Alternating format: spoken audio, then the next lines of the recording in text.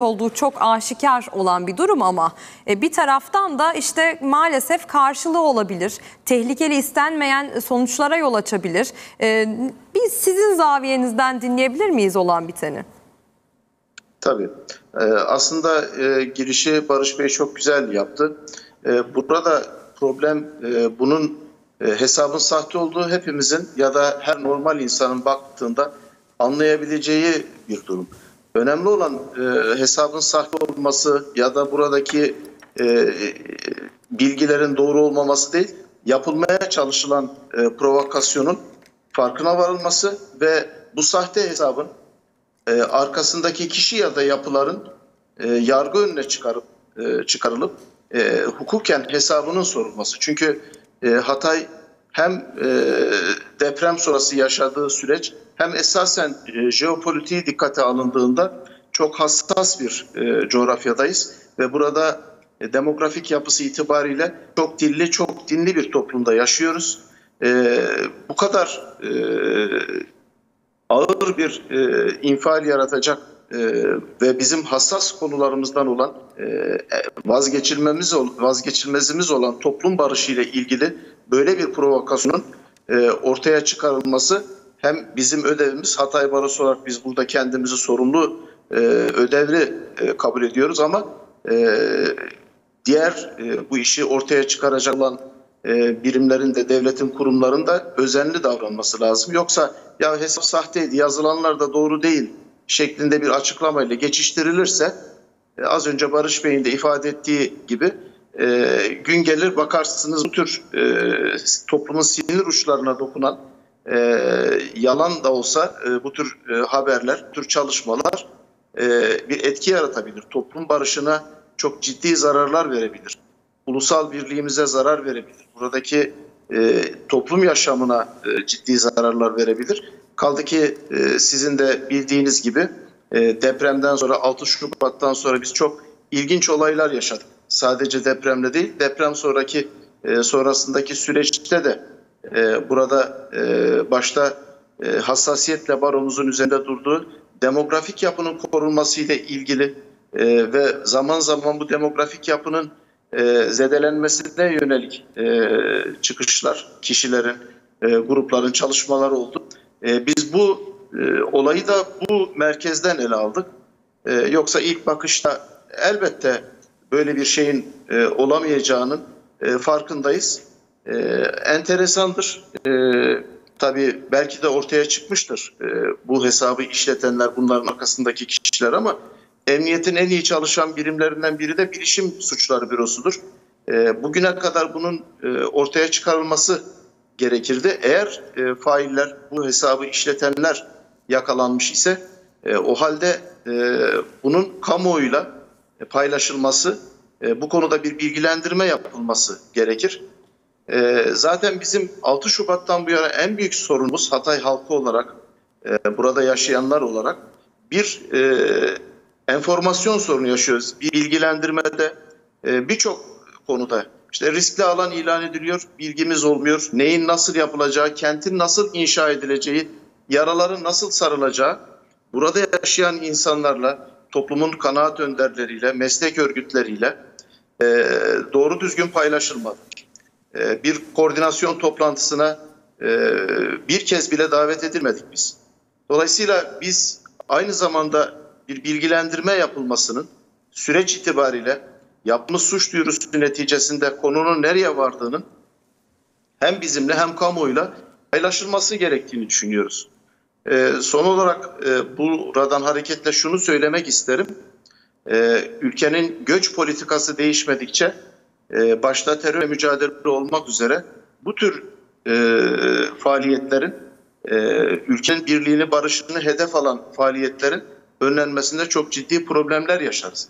E, geçici sığınmacılarla ilgili, göç politikası ile ilgili biz eleştirilerimizi zaman zaman ekonomi üzerinden anlatırken ama büyük fotoğrafa baktığınızda esasen hukuk sistemimizin buradaki toplum barışının e, zarar görmemesi bakımından bir an önce e, ülkenin göç politikasının gözden geçirilmesi gerektiğini düşünüyoruz. E, evet. Baro olarak bizim Böyle bir düşüncemiz var. Şimdilik bunları söyleyeyim. Şimdi biz tabii bunları ekranda dönerken hani e, ekran başındaki izleyicilerimize belki yeni açanlar olmuştur. Şunu söyleyelim yani bu paylaşımlar hani bir resmi dille vesaire de zaten yazılmadığı gibi gerçek değil. Yani sahte ve provokatif Elbette. e, paylaşımlar. E, o da yanlış anlaşılmasın çünkü çok da hassas.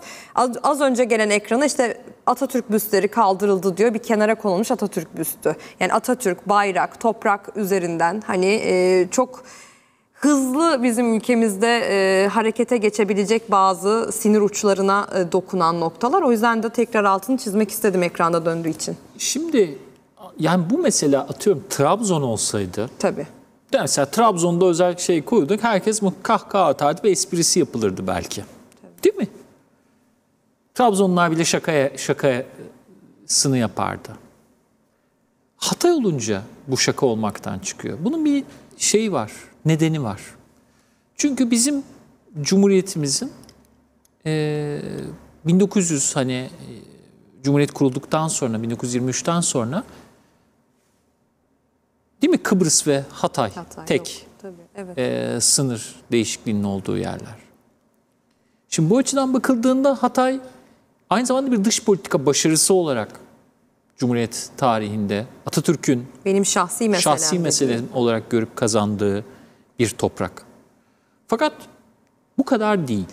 Hatay onun üzerinde bu değişikliği kabullenememiş öte tarafta bir eğilimin de olduğunu biliyoruz. Yıllarca Hatay Türkiye Cumhuriyeti'nin toprağı olarak gösterilmedi bazı haritalarda.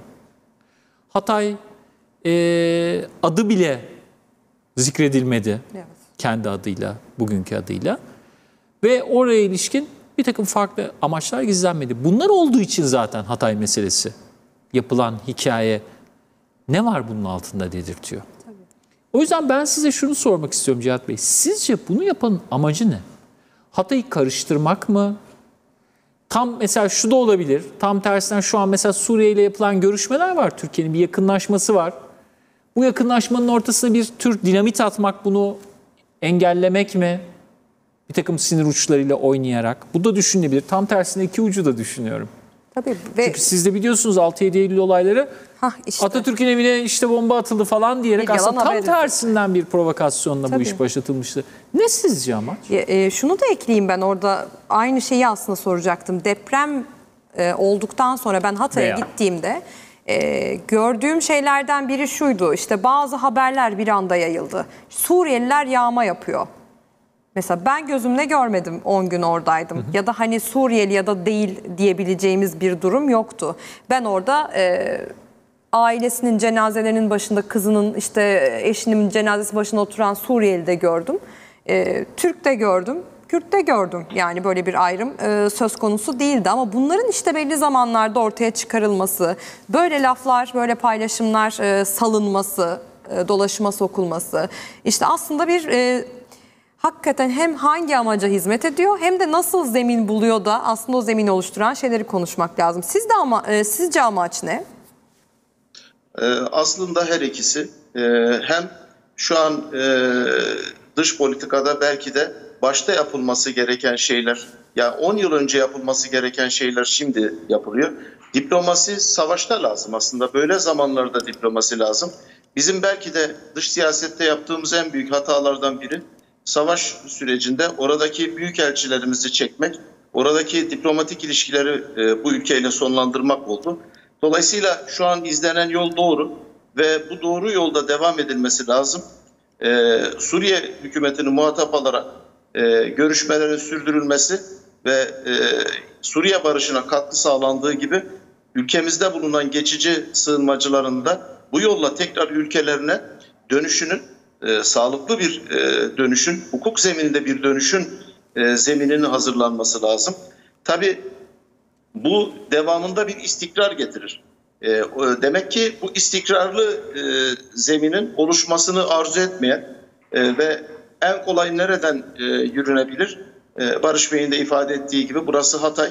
Burada çok dilli, çok dinli bir toplum binlerce yıldır beraber yaşıyor.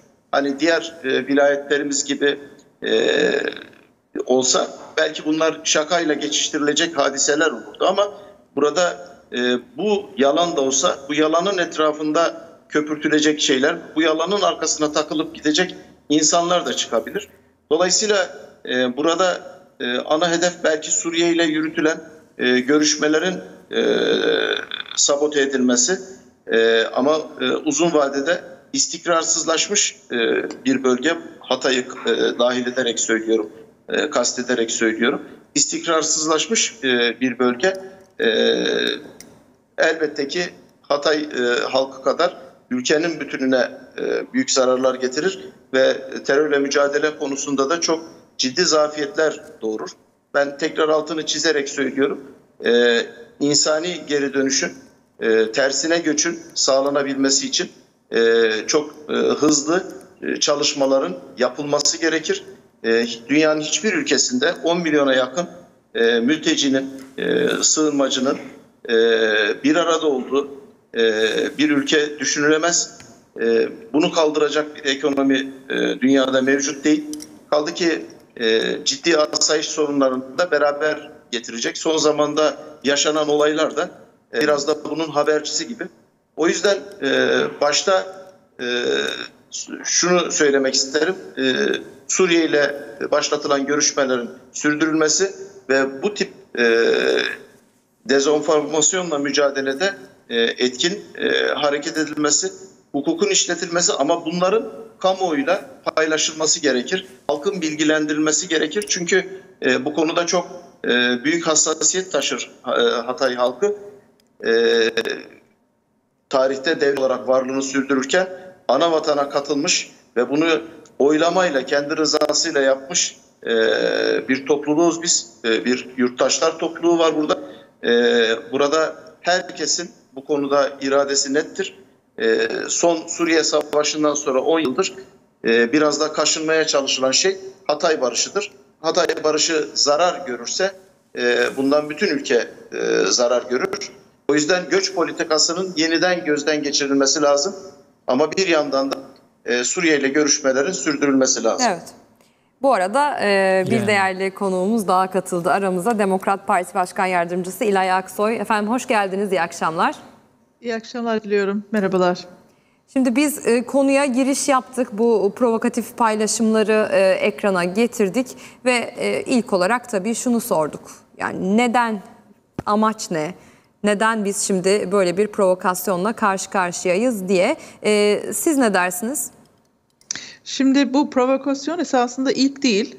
Ee, 2018 yılında da e, terörist Sarut var. Suriyelilerin e, meşhur futbolcusu sonradan da e, muhalif tarafa geçmiş ve IŞİD tarafından da IŞİD'in saflarına katılmış bir e, şahıs. Bu şahsın öldürülmesiyle birlikte de Reyhanlı'da e, cenazesi getirilmek istendi. Ve Reyhanlı'da yaklaşık çok e, kalabalık bir e, yapı Suriye'de öldürülmesine rağmen e, Reyhanlı'da 3000 kişiye yakın e, Suriyeli gelip orada cenazesini orada kaldırmak istediler ve orada bir e, deneme yaptılar. E, bu ilk değil. Provokasyonlar sürekli ara ara yapılıyor zaten Hatay'da. Ama bugün bu internet sayfasının halen kapatılmaması ve devam etmesi esasında bunu bunu esas irdelememiz gerekiyor. Şimdi Astana görüşmelerinin e, olduğu gün bir gün öncesinden açılmasını da incelememiz lazım. Çünkü Astana görüşmesinde çıkan maddeler de çok e, bağlantılı esasında. E, özellikle Astana görüşmesinde İdlib konusuna çok ciddi anlamda vurgu yapıldı. Özel yapılar reddedildi. E, toprak bütünlüğü özellikle e, çok ciddi anlamda üstünde duruldu ve e, faaliyet dışı yani e, gayri resmi terör örgütlerinde tanınmayacağını ve aktif bir şekilde mücadele edileceği burada Astana görüşmesinin sonrasında yapılan deklarasyonda beyan edildi. Şimdi e, Hatay'ın hemen özellikle Reyhanlı'dan 3 kilometre ötesinde İdlib var. İdlib'de biliyorsunuz bizim de 2018 yılında terör örgütü olarak da ilan ettiğimiz HTŞ'nin kontrolünde olan İdlib bölgesi. Şimdi e, burada e, açık Astana görüşmesinden sonra e, kapsayan e, terör örgütlerinin listesinde de elbette İdlib'de var. Şimdi bugün dün daha doğrusu paylaşılan e, tweetlerden bir tanesinde e, Al, Alhar El Şam örgütünün bir e, şey vardı propaganda kağıdı paylaşılmıştı orada ve bu e, Alhar El Şam e, terör örgütü esasında iki bünyeden oluşuyor. Bir HTŞ ve sonradan da 2018 yılında bölünmüş ve bir kısmı da ÖSO'ya geçmiş. Dolayısıyla burada çok bilinçli bir şekilde bir provokasyon var, bir e, ajitasyon yaratılmaya çalışılıyor, halk e, içine bir ajitasyon sokulmaya çalışılıyor ve ileride Türkiye'ye çok farklı bir e, sürece sokmak istiyorlar. Bakın az önce de çok kıymetli Baro Başkanımızın söylediği gibi Türkiye'de çok ciddi anlamda farklı farklı